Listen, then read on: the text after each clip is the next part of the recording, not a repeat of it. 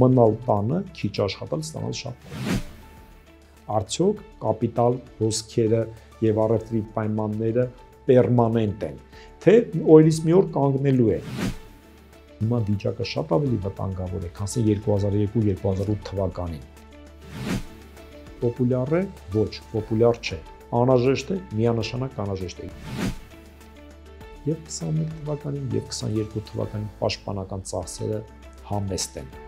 Եթե գնաճն էլ մենք հաշվի առնենք, գրեթե չունենք աճ։ Եթե դու ունես տնտեսություն, միշտ պետք է ունեն լինես ուզողի կարգավիճակում, խնդրողի կարգավիճակում։ Տնտեսագետ Վարդան Արամյանի հետ մեր ապա քաղաքական զրույցը դիտեք շաբաթ օրը ժամը 21-ին։